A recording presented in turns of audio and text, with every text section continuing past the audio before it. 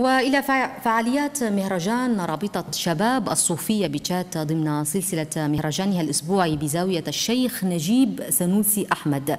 احياء للمدائح النبوية بحضور نائب رئيس المجلس الأعلى للشؤون الإسلامية آدم حنفي.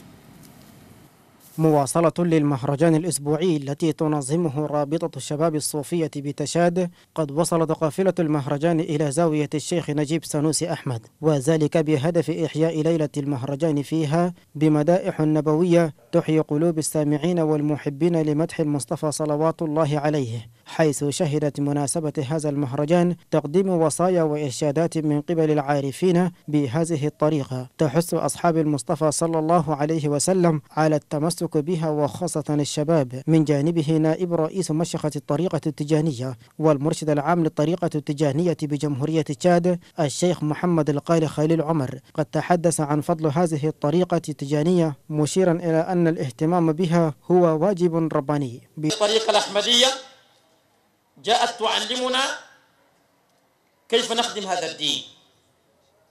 كيف نعمل لهذا الإسلام.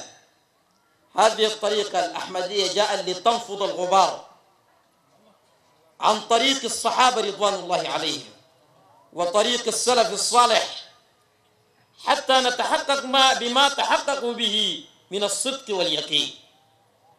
وما أصدق مقالة الشيخ رضي الله عنه في جواهر المعاني في تفسير هذه الآية من سورة الواقعة ثلة من الأولين وقليل من الآخرين. بدوره الشيخ نجيب سنوسي أحمد يعد من أبرز قادة الطريقة التجانية. لذا قد منحته رابطة الشباب الصوفية بتشاد شهادة تقديرية بناء على اهتمامه بهذه الطريقة.